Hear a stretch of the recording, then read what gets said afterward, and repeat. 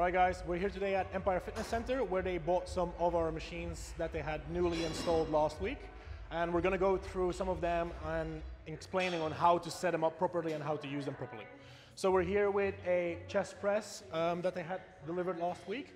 It is a converging chest press and it's in a slight inclined plane. So it hits those upper pec fibers really well along with the major majority part of the chest muscle fibers.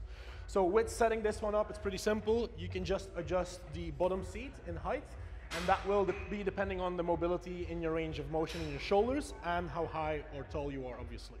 So when you take a seat, you want to be able to grip the handles while still having good posture. So um, torso up, shoulders back in a nice tall manner.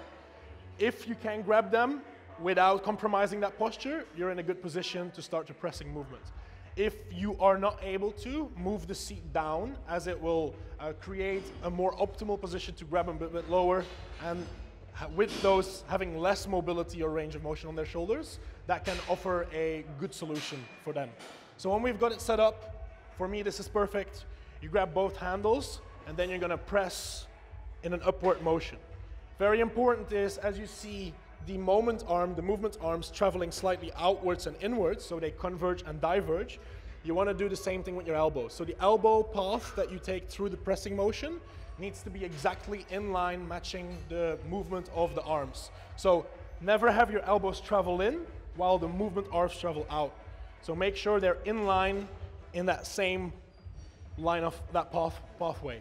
So imagine that this pressing motion is a giant arrow and you want your elbows pressing in that same direction as well.